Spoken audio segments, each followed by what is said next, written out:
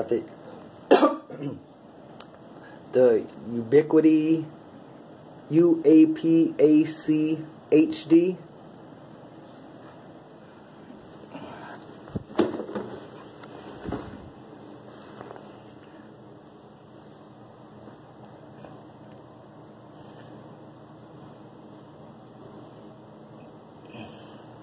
Got my Edge router 12. Light right here. I don't know, it looks blue right now, but it's white. I don't know why it looks blue.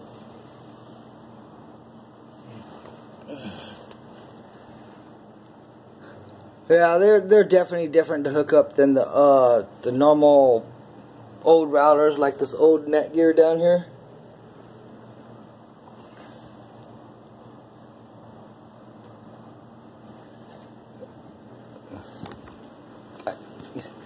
It's an awkward spot. I gotta keep moving the phone around the pole.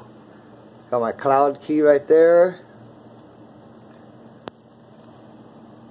My PoE for the AP router.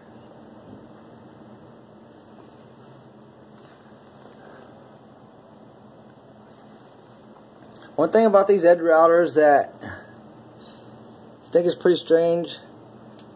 All the all the plugs are in the front, like so now you have to set them in awkward spots because you have a bunch of plugs just hanging out the front. It's kind of.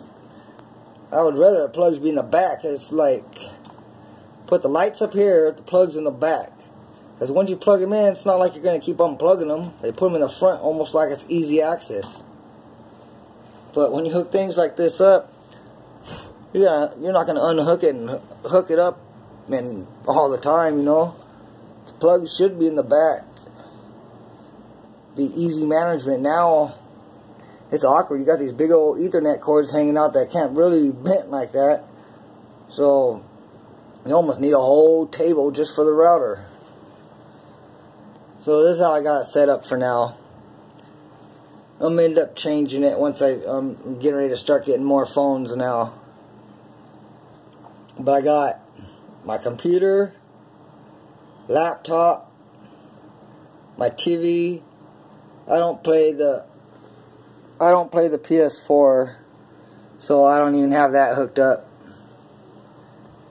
But I got my put my uh, my main computer, laptop, TV, cloud key, which they only give you a small cord, so now that forced me to have to set it like this, and then the AP router, and I got the internet, and uh, the PoE part one, and I didn't know or think about, it, but it's passive PoE. It won't power the uh, it won't power this right here, the cloud key. So I'm still using the Chili TV cord, but I'm gonna end up. I'm just gonna end up getting a, a PoE switch like this to power the cloud key. But yeah, I'm probably gonna change the internet port to eight. I had it on eight before, but I just when I redid it, I left it on default, so I just left it on nine on ETH Ethernet port nine. But that's it. Got it hooked up. It's definitely, definitely, uh, it's definitely not plug and play. And I didn't even, I didn't even use the cloud key to hook it up because I didn't have the internet. So when I first tried it, so I don't know, I didn't, I didn't have the internet hooked up. So I don't know if the cloud key would have actually worked if I had it hooked up this way. But you gotta hook it up to here for a static IP. Give your computer a static IP. Set this up. And that's pretty much it. A couple other things. Make switch it to the uh, back to the port. But yeah, now it's pretty easy. I can do it like I can I could reset all these devices. I can reset this, the cloud key, the AP, and I could probably have them all back up and running in in five ten minutes.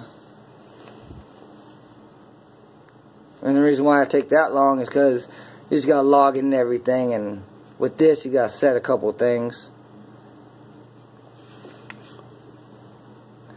But I had to open the NAT for my Call of Duty game, so I had to give it some port forwarding uh, rules, which actually it's it's pretty easy. So I got that set up now. I guess that's it.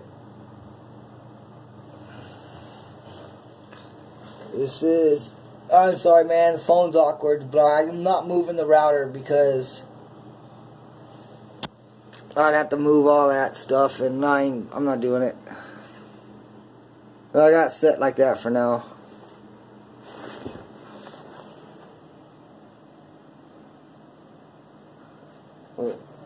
Yep, there it is, man. Everything up and running.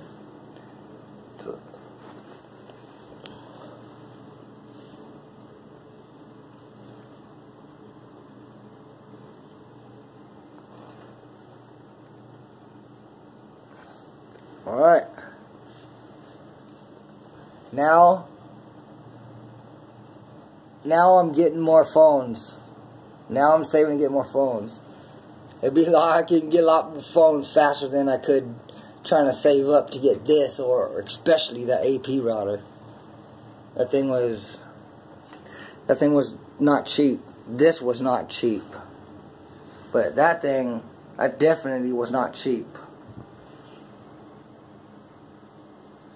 There it is there. Got the Ubiquiti. Ugh. HD. And the Ubiquiti Edge Router 12. Didn't need the 12P because the only difference between the 12 and the 12P is you can have multiple PoE ports, but they're not passive. So everyone, if you enable 24 volt, it should power the, the like a cloud key or power something. This on port 9, I can enable 24 volt, but it doesn't even power the cloud key at all. The light, nothing won't even go on it. So I didn't I didn't need the 12 the the 12p so I just got the regular 12. Because, yeah, I don't need to have a bunch of PoE outs. Plus, it's, just, it's almost like a $100 more. Well, I don't know if it's that much more, but it's definitely a lot more. Alright, that's it.